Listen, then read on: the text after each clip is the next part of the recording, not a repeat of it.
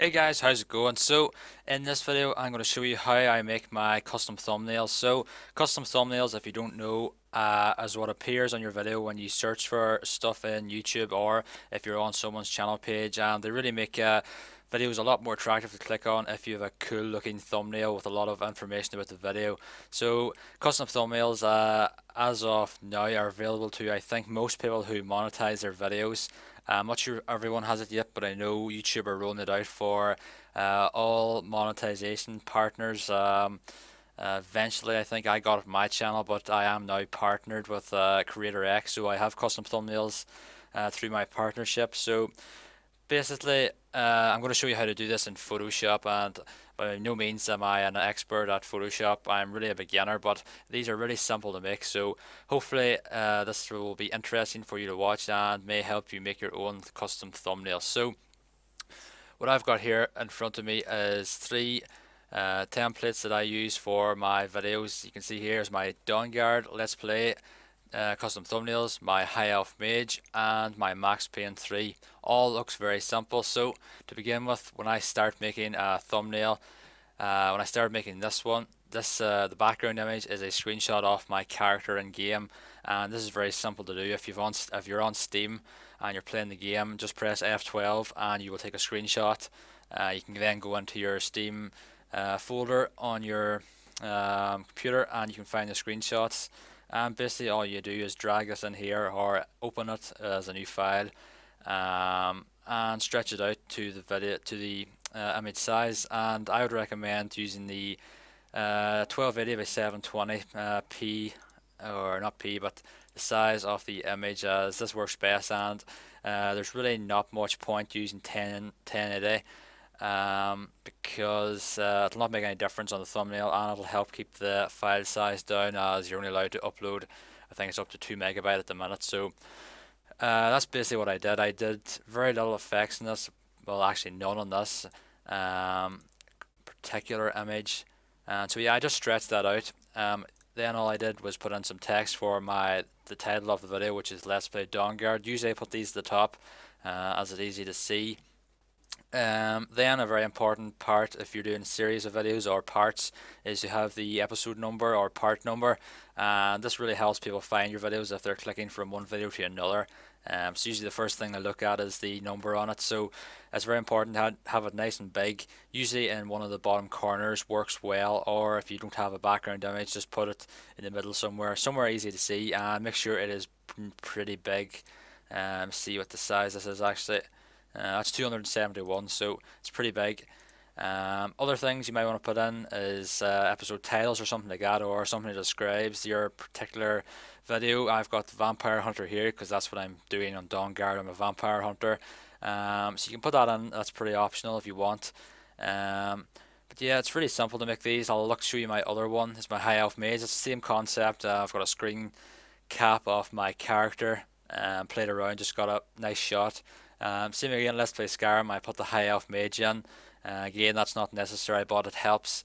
Uh, when I do future playthroughs, I'll put different uh, titles here. And again, the part number is very important. And the last thing I'm going to show you is Max Payne 3. Again, very simple. I got this off Google. You just type in Max Payne 3. Um, this is one of the cover photos. And it's pretty simple. Same again. Let's play.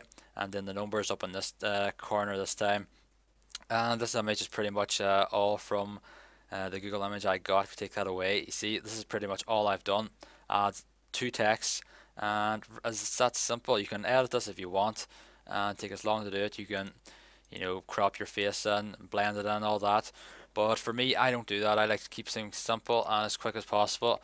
Um, I do most of my thumbnails on Photoshop, uh, either on this computer or on my laptop, which I have a few other ones. I have Fallout 3 in that, and I've got my new Borderlands 2 thumbnails on it too.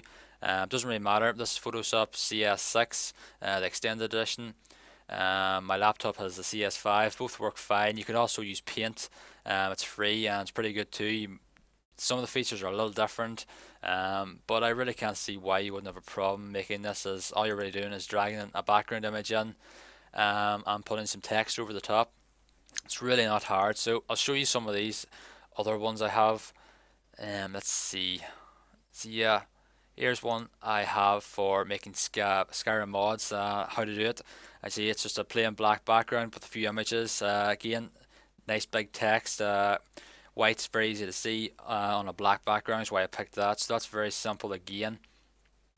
Um, you can actually see here, here's another Let's Play Dawnguard one. Um, is one of the first ones I tried which I didn't actually use. You can see it's a bit smaller the text and I edited the background image a bit more, it's a different image. Um, but you see, you see this is why I didn't use this. Um, the background image, uh, it's a bit too over edited for me. Uh, the text is a bit small and it's not as easy to see as the other ones. So I'll show you here. See, it's a lot easier to see. It's a nicer background image, a lot more clear. Um, so you see the size of these are mostly around 810 kilobytes, which is pretty small. Um, depends what kind of background image you have, really. Um, so here's some other ones too. Is my Modern Warfare 3 ones. Um, just again a screen cap of the game. Uh, Modern Warfare 3 title, the title of the episode, episode number, and the map it's on. Uh, again, very simple to do. And don't think of any other ones here. Some old Fallout 3 ones I've gotten this. I'm using different ones now. Um, they're on my laptop. But again, you can see nice background image. Uh, just doubled this image on both sides. Put on Let's Play. Got an image of our PNG on Google of Fallout 3 and the part number. So as you can see, I keep things very simple and it's really not hard to do.